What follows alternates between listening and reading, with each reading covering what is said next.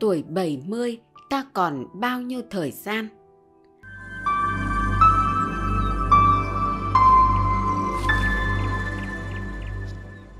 Kính chào quý khán giả đang theo dõi trên kênh Vạn Điều Ý Nghĩa. Quý vị thân mến, tôi không sợ tuổi già, tôi chỉ sợ thời gian. Người bạn còn lại sau cùng gần gũi và quý báu của tuổi già chính là thời gian. Trẻ ít chú ý đến thời gian vì họ còn tương lai phía trước và rất quan tâm vì đó là thứ nhắc nhở họ. Bạn còn bao nhiêu thời gian?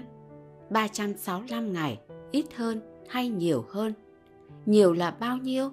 Bạn sẽ làm gì cho giai đoạn cuối đời? Cứ để nó trôi qua.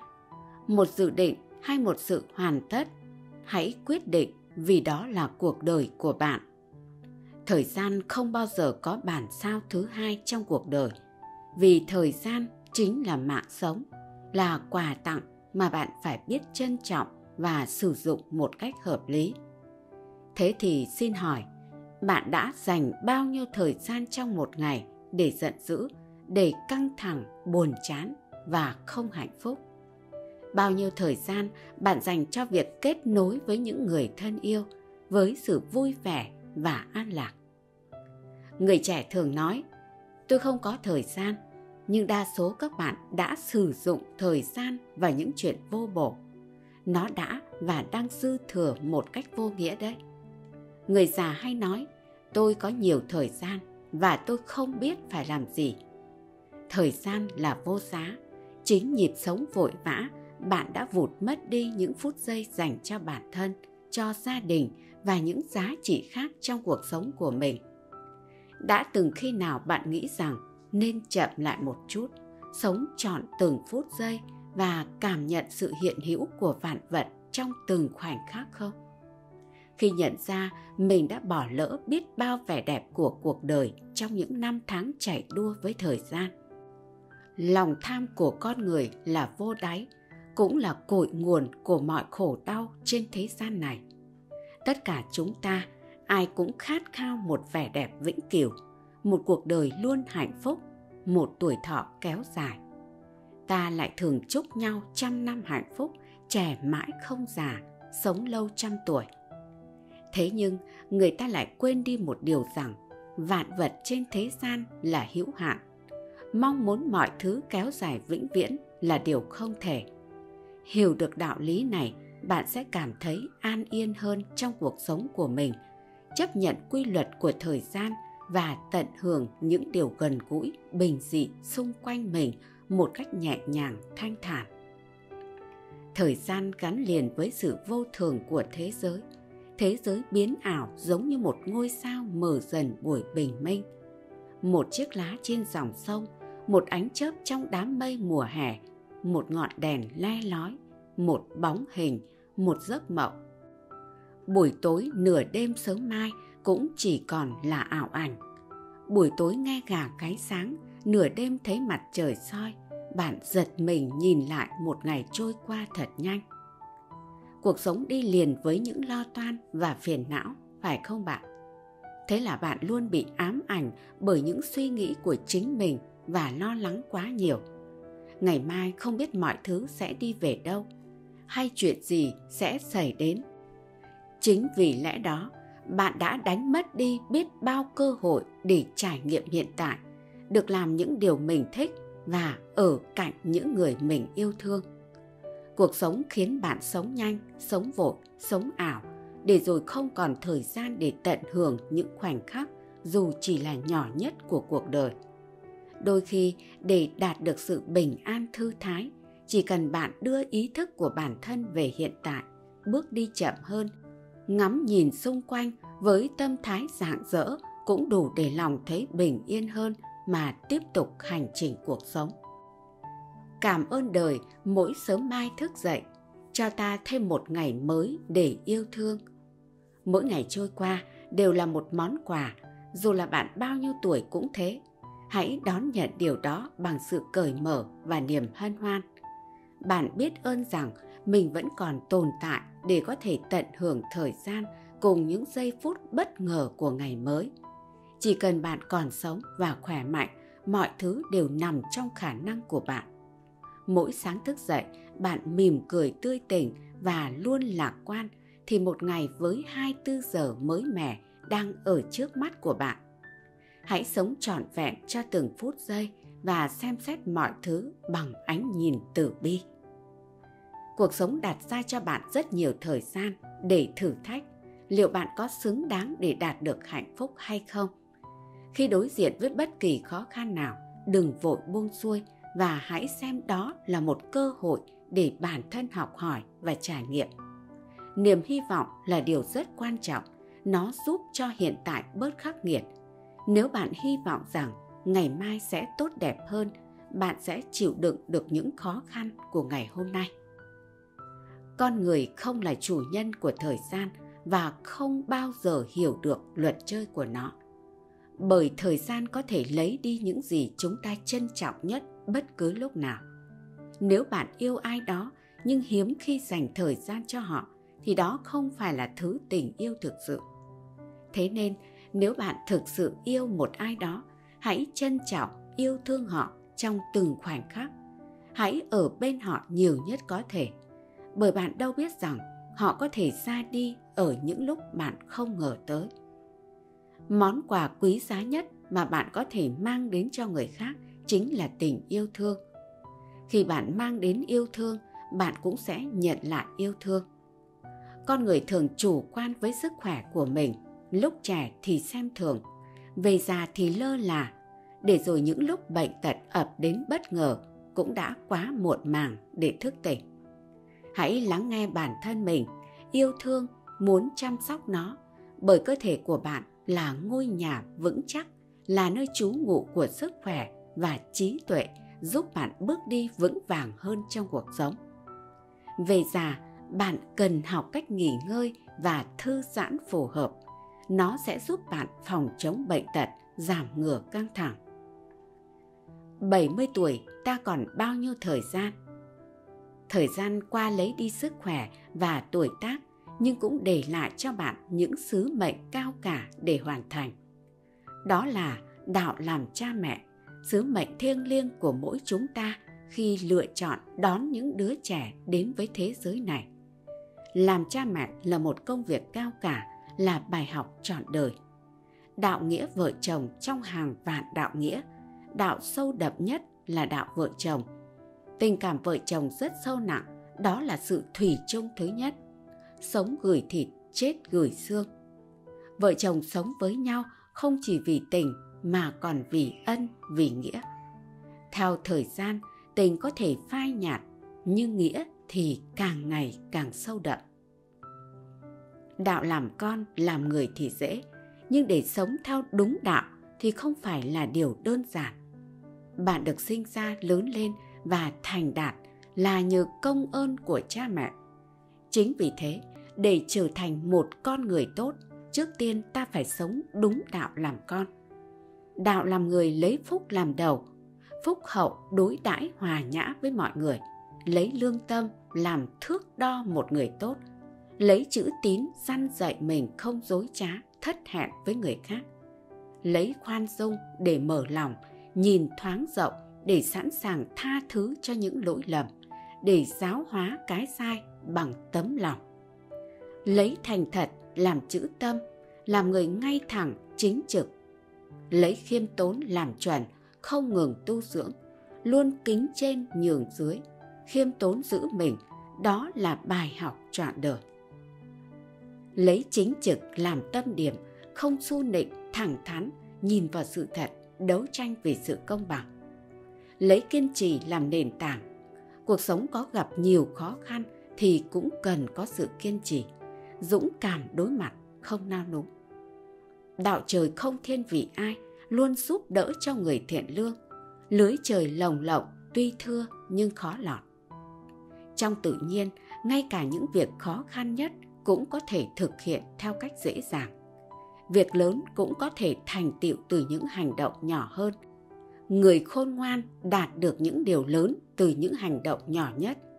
Thành tựu vĩ đại là nhờ biết chia nhỏ những hành động của mình. Cây lớn sinh ra từ một cái mầm nhỏ, tháp cao 9 tầng khởi đầu từ một giọt đất, đi xa ngàn dặm bắt đầu từ một bước chân. Cuộc sống của bạn không được tạo nên chỉ để đóng kín trên chính mình. Cuộc sống ấy có một đích đến xa hơn vượt qua khỏi cái chết, vượt qua ngàn vạn khó khăn để học cách biết trân quý bản thân. Đến cuối đời, chúng ta sẽ còn lại gì? Đây là câu hỏi mà ai cũng từng tự băn khoăn trong đầu ít nhất một lần. Có những người dành cả đời để theo đuổi danh vọng, tiền tài, ái tình, nhân nghĩa. Nhưng họ không biết rằng chỉ có một thứ duy nhất sẽ ở lại với mình tới phút cuối của cuộc đời đó có phải là người bạn yêu? Câu trả lời là không phải. Tuy vợ chồng là người cùng chia sẻ hạnh phúc, đắng cay ngọt bùi, giao hòa cả về tâm hồn lẫn thể xác, nhưng vẫn đến ngày hai người phải chia xa. Có thể ở bên nhau tới lúc răng long đầu bạc đã đủ tốt đẹp rồi, nhưng chẳng ai có thể ở đến mãi mãi. Đó có phải là con cái bạn? Câu trả lời vẫn là không phải cho dù cùng chung quan hệ huyết thống mạnh mẽ, máu mổ tình thâm, con cái cũng chỉ có thể cho bạn sự đoàn tụ, hiếu thảo, thăm viếng và niềm vui quan tâm chăm sóc ở tuổi già. Khi đi tới cuối cuộc đời, con cái chỉ là tiễn đưa bạn trong bình an. Đó có phải là tiền bạc?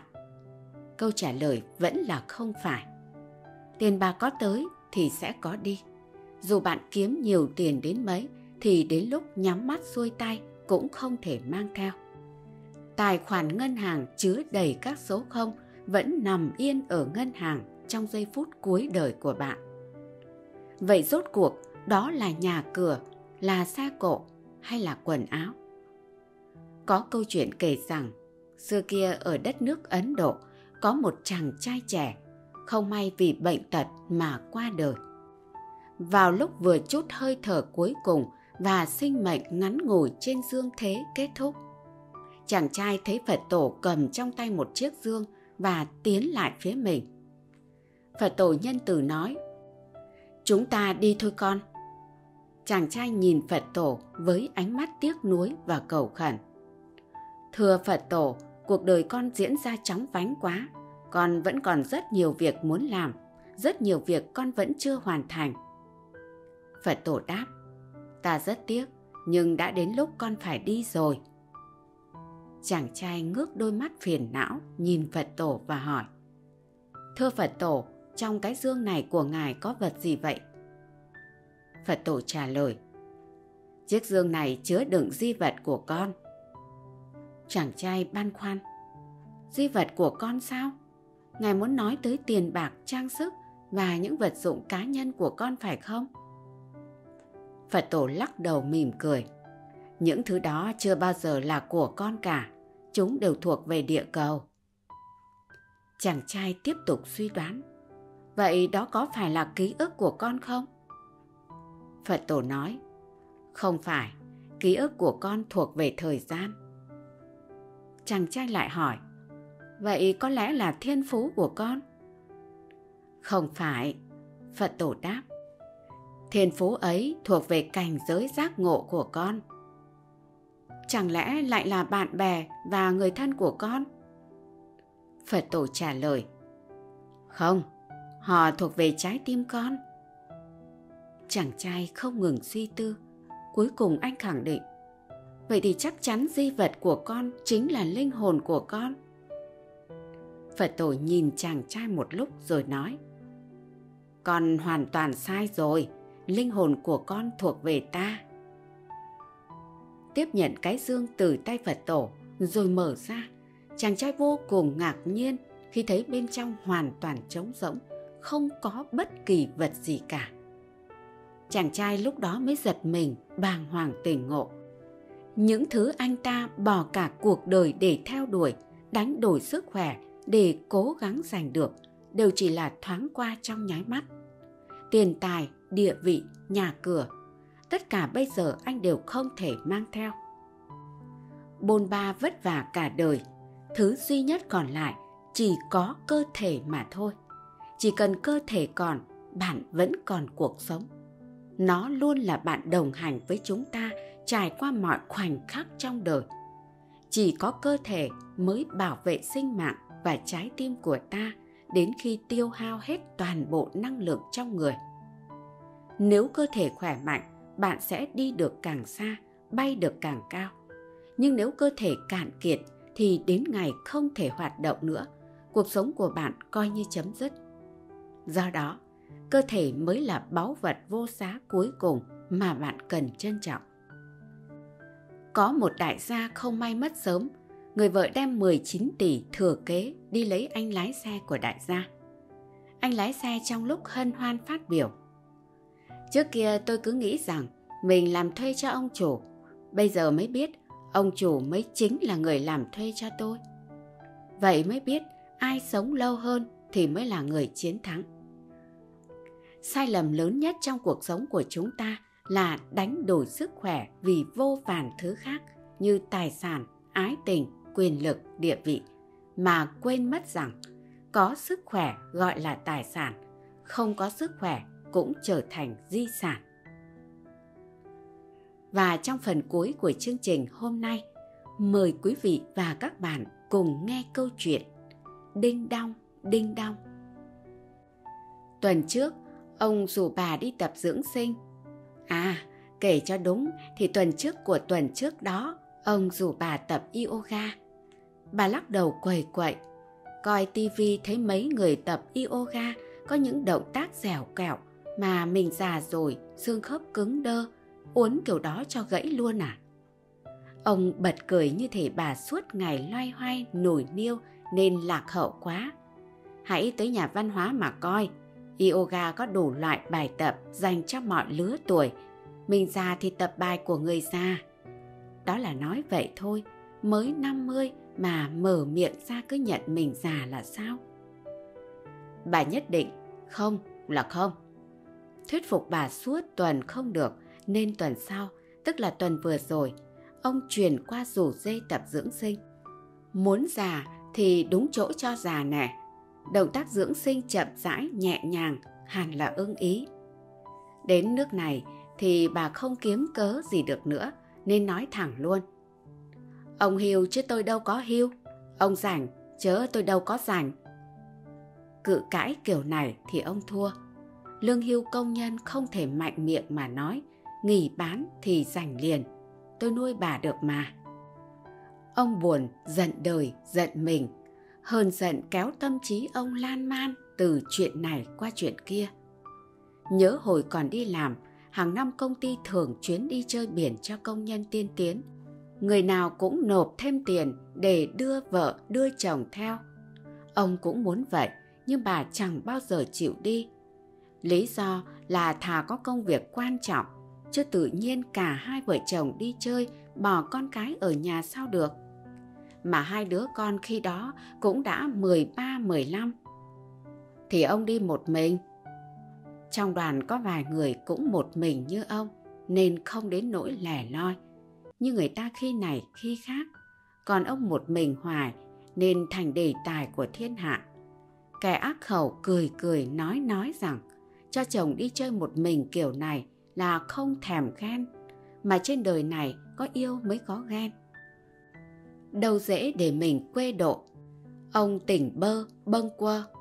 Hiếm có đàn ông được vợ tin yêu tuyệt đối như đây đâu nghen câu đối đáp nặng ngàn cân khiến mấy bà mà chuyến đi chơi nào cũng kè kè theo chồng, mở to mắt nhìn gã đàn ông. Lẽ ra phải tủi thân mà sao lại ngạo nghễ giường kia? Ờ đã đi chơi một mình mà áo quần hàng hiệu mới ghê. Những cuộc liên hoan công ty, điện thoại của mấy ông cùng bàn liên tục reo vang. Người thì vợ dặn uống đúng một ly thôi. Người thì vợ dặn phải về đúng giờ. Ông đợi điện thoại trong túi mình reo nhưng chưa bao giờ.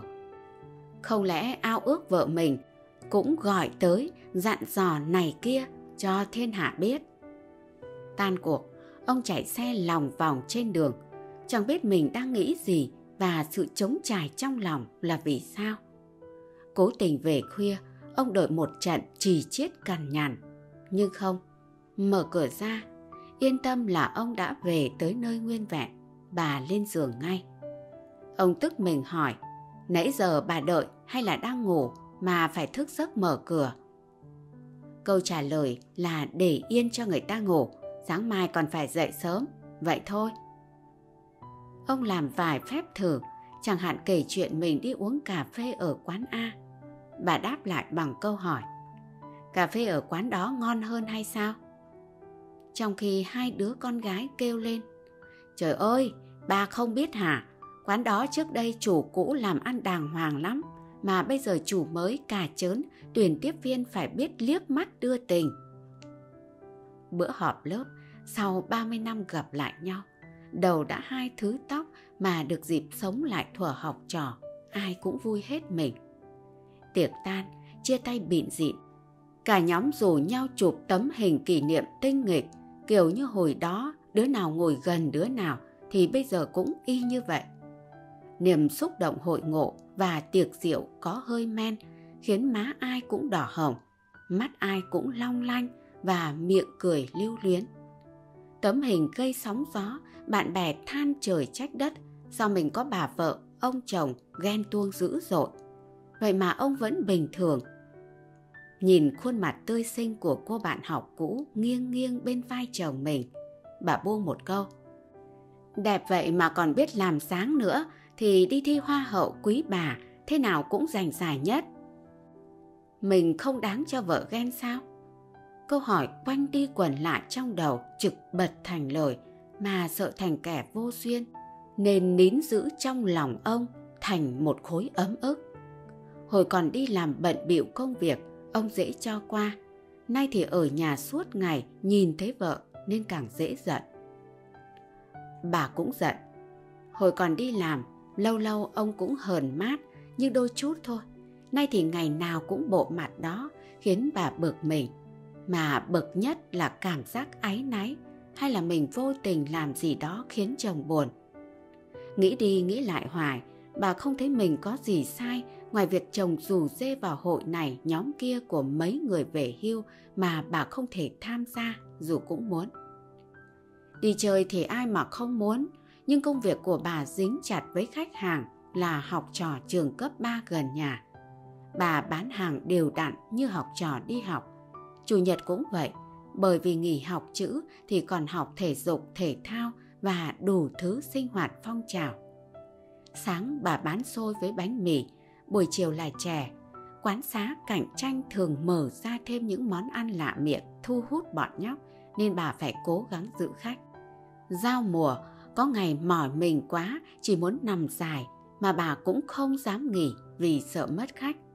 Con nít dễ dụ, chỉ cần tụi nó đi qua quán khác một lần rồi chủ bên đó tung chiêu khuyến mãi mời chào là xong luôn. Chưa kể là bán hàng ăn, khi hết khách và dọn dẹp rồi, nhìn tưởng đã xong, nhưng đó là lúc bận bịu chuẩn bị cho buổi bán kế tiếp. Công việc lu bu suốt ngày, từ 3 giờ sáng thức dậy nấu xôi và làm hàng, dọn bán tới xế trưa thì lo về chuẩn bị nấu chè cho buổi chiều. Sau đó thì xoay vòng công việc cho buổi bán hôm sau. Tối nào bà cũng đi ngủ sớm. Ngay cả những bộ phim chiếu tivi tại nhà bà cũng không coi trọn vẹn được. Nhưng bà đâu để sự bận bịu của mình níu chân níu cẳng chồng. Mấy ông hưu trí hội họp này kia, rồi thì rủ dê tham quan nơi này trốn nọ. Bà không đi được nhưng không hề kiếm cớ bắt chồng phải ở nhà. Ngược lại, bà còn đưa tiền cho con gái canh chừng giảm giá giờ vàng để mua vài bộ áo quần hàng hiệu cho chồng mình bành bao với người ta. Cả thuốc nhuộm tóc nữa. Trang hôn nhân gia đình trên tờ báo bà hay đọc nói rằng nhìn cách ăn mặc của người đàn ông sẽ biết họ được vợ quan tâm chăm sóc hay không. Còn muốn gì nữa mà giận với hờn. Chiều chuộng quá, người ta đổ hư. Vậy đó, hôm qua lại rủ dê mà lần này là rủ đi du lịch, tour tham quan mấy tỉnh miền Tây kéo dài 5 ngày. Tức là bà phải nghỉ bán một lèo 5 ngày. Người gì đâu mà vô tư quá. Chẳng lẽ phải nói thẳng ra đi chơi kiểu đó là treo nổi luôn hả? Cả mấy đứa con nữa bày đặt hùa về phe ba mà nói má cứ nghỉ mấy ngày đi chơi cho thoải mái, có gì tụi con bù cho. Nói nghe hay lắm, cả cha lẫn con, đi chơi cũng phải biết tính chứ. Đâu có cái kiểu muốn đi lúc nào cũng được. Bà lại đi ngủ sớm, một mình ông ngồi trước tivi. Chương trình tư vấn hôn nhân có câu hỏi. Vợ có tính ghen tuông thì chồng nên làm sao? Câu trả lời tưng tửng chỉ sợ vợ không thèm ghen thôi, vì không ghen thì có khi vợ đang có người khác. Câu trả lời nghe như đùa mà khiến ông chấn động tâm can. Ai? Ai? Ai? Ông tuyên bố ở không rảnh quá cũng buồn nên sẽ đi làm thêm. Mấy đứa con hỏi, bà định làm thêm ở đâu? Ông nạt, tao phải khai với tụi mày à? Phải kiếm cớ bực mình mới yên vì công việc của ông mà nói ra là lộ ngay. Ông làm cho cửa hàng thú nhồi bông. Nhiệm vụ là mặc bộ đồ thú bông đi qua đi lại ở nơi đông con nít, như là công viên và trường học. Hôm nay ông đóng vai thỏ, có đôi tai dài. Ngày mai ông đóng vai mèo, có cái đuôi sù. Bộ đồ thú dày cộm, nhưng cũng may là tháng 12 trời trở lạnh, thành ra người mặc được ấm áp, lại an toàn vì không sợ ai nhận ra. Ông tha hồ quan sát những kẻ làng vàng quanh vợ mình. Gã xe ôm tới mua ổ bánh mì rồi đi ngay. Gã sửa xe thì mua xôi đem về quán ngồi ăn. Hai gã lắp internet cũng mua xôi rồi ngồi ăn tại chỗ. Suốt hai tuần nhìn ngó mà không tìm ra chứng cớ nào. Ông rơi vào nỗi hoang mang, lòng người lạnh, trời lạnh mà không khí của mùa lại rộn ràng quá chừng khiến ấm lạnh lẫn lộn nôn nao chủ tiệm thú nhồi bông dựng cây thông noel cao ngất ngay trước tiệm, xung quanh bày những thùng quà to cột nơ lấp lánh ngày giáng sinh, ông mặc bộ áo quần ông già noel không phải đi đâu và cũng không phải làm gì, chỉ đứng chống nạnh oai phong bên cây thông cho khách chụp hình còn 30 phút là đến nửa đêm. Lúc đó ông mới được rảnh mà ngồi thở. Từ chiều tới giờ, hết nhóm này tới nhóm kia tạo dáng cùng ông già Noel khiến ông mệt phở. Mệt mà vui. Chợt ông nghĩ các cớ, nếu lúc này mà có vợ mình cùng chụp mấy kiểu làm kỷ niệm thì hay quá. Nhớ hồi còn trẻ, tuy không theo đạo, nhưng mùa Giáng sinh nào ông bà cũng xôn xao thích nhất là bà hay đút tay vô túi áo ông tìm hơi ấm. Ơ, ai kia? Vợ ông bất ngờ xuất hiện ở đầu đường. Bà đi đâu giờ này? Trái tim ông đập thình thịch. Đi đâu? Gặp ai? Tối qua ông nói ngày mai lễ nên ông đi làm tới khuya luôn. Bà chỉ thốt lên.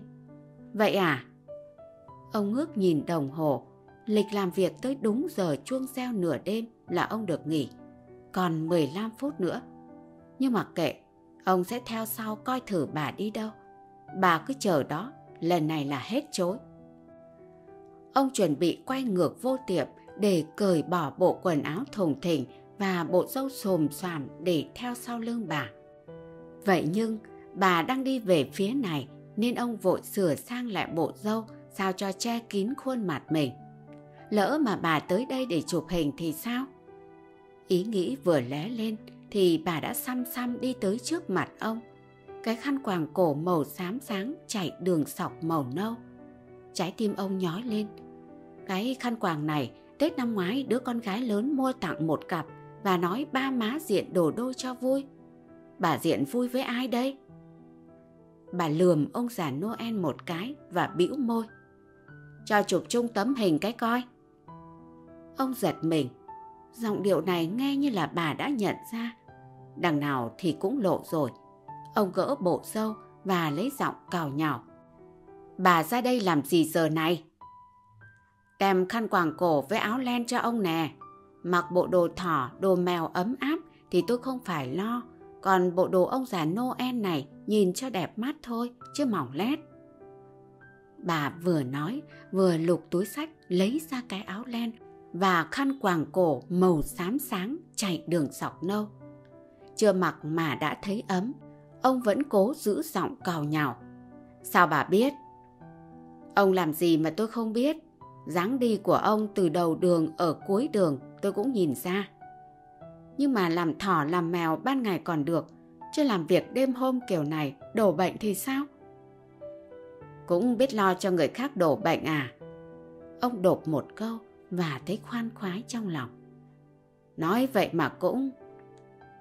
Tiếng chuông đinh đong vang vọng khiến bà ngừng lời. Chẳng hiểu sao bà ngước nhìn lên trời. Ông nhìn vợ, quàng cái khăn này, nhìn bà chẳng khác cô gái hồi đó là mấy. Rồi ông cũng theo hướng ánh mắt bà mà nhìn lên trời. Môn vì sao xa xôi nhấp nháy gợi nhớ. Bà không ngủ sớm, sáng mai dậy sớm bán hàng à? Ông thì thầm, hỏi đi mà hỏi. Ông đứng giữa trời gió vậy mà biểu người ta ngủ sao được. Nè, tour du lịch mấy bữa ông nói đó. Giọng bà dịu dàng. Sao? Để dành tới hè được không? Học trò nghỉ hè thì mình tha hồ đi chơi. Bà không nhìn lên trời nữa mà lườm ông với cái bĩu môi. Ý là phải nói thẳng ra vậy cho ông thông hiểu mà thôi cái trò giận giận hờn hờn sinh chuyện đi làm thêm đêm hôm kiểu này. Tiếng chuông lại ngân vang, đinh đong, đinh đong, đinh đong. Cảm ơn quý vị khán giả đã lắng nghe. Xin chào và hẹn gặp lại ở video tiếp theo. Xin trân trọng cảm ơn.